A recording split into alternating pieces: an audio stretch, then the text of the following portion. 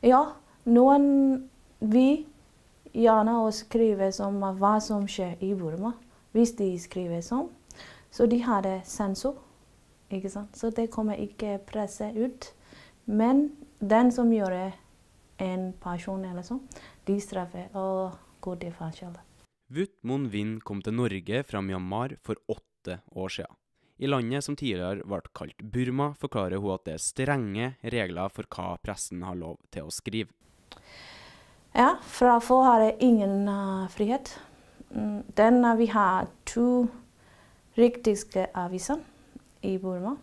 Den, men de bruker den er fra regjeringen, uh, uh, politikere og hva de vil vite om. Også bare den.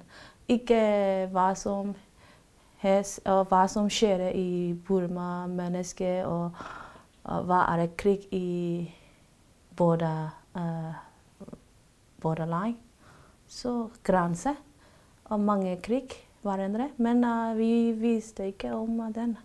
Men det er ikke bare pressen som knebles av myndighetene. Det er også strenge regler for internettbruk. Og bare 35% av befolkninga har tilgang til internettet i dag. Når jeg gikk ut fra Burma, det, det startet med internett og bruke litt mange. Men de har alle stengt. Mange sider har stengt. Vi går inn i noen websider, og de sa det SS9.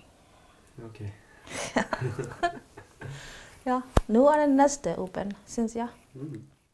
Forholdene for pressefrihet ser ikke ut til å bedre seg, for Myanmar kommer ut på en svak 143.-plass på Reportere uten grensers pressefrihetsindeks, og folket fortsetter med å sluke medias ord rått. Ja, de tror det alt som kommer ut av sannheter. Ja, de tenker ikke det kan sannhet, eller det kan ikke. ikke sant?